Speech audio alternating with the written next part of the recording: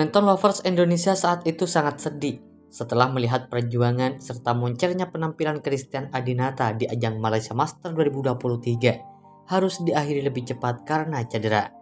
Kesedihan itu disebabkan karena para penikmat bulu tangkis Indonesia tidak mau kehilangan dua kali setelah sebelumnya pemain generasi masa depan Indonesia yakni Sabda Belawa Perkasa mengalami insiden kecelakaan dan dinyatakan meninggal dunia Semoga Allah menempatkan dia di surganya. Amin.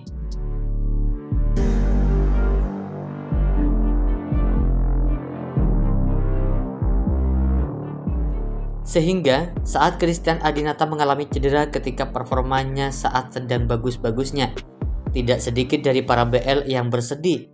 Khawatir cedera itu akan menjadi cerita dari akhir perjalanan mimpi seorang Christian. Dokter PBSI Nicholas Budi Parma yang menangani cedera Christian memberikan penjelasan bahwa apa yang dialami oleh atlet tersebut masuk dalam kategori parah. Untuk penyembuhan cedera lutut yang dialami Christian, memang perlu penanganan. Dari hasil MRI, cedera lutut tersebut masuk ke dalam kategori parah, sebab ligamen tempurungnya sampai robek.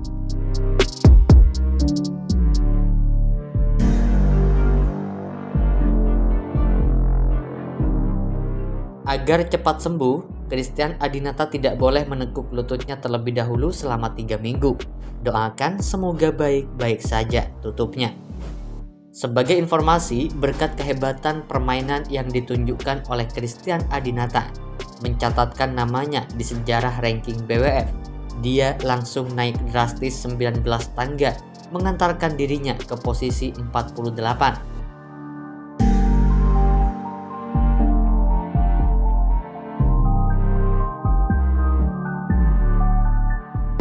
Demi mendukung dan memberikan motivasi kepada Christian Adinata, para badminton lovers memberikan kejutan tak terduga yang sampai membuat The Rising Star itu menangis haru.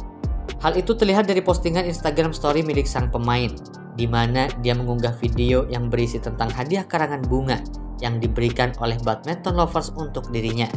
Pada karangan bunga tersebut tertulis, Get well Sonsha, kembali lebih kuat, bangkit lebih hebat, badminton lovers Indonesia.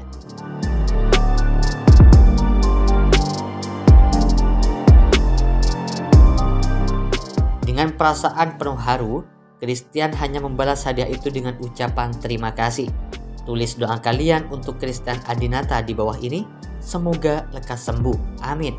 Terima kasih dan sampai jumpa.